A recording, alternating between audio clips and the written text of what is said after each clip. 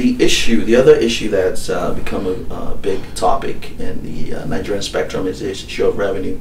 Nigeria is currently uh, doing 1.6 uh, million, million barrels, according to President Tinubu's uh, uh, recent uh, uh, speech, which he did a couple of days ago, uh, which the allocation is supposed to be at 3 million barrels.